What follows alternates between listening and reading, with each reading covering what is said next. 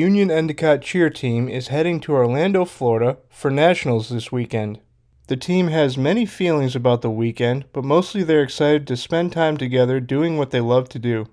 I'm excited for team bonding and just feeling the energy and the crowd again because the like the feeling that you get when you're at nationals is like no other.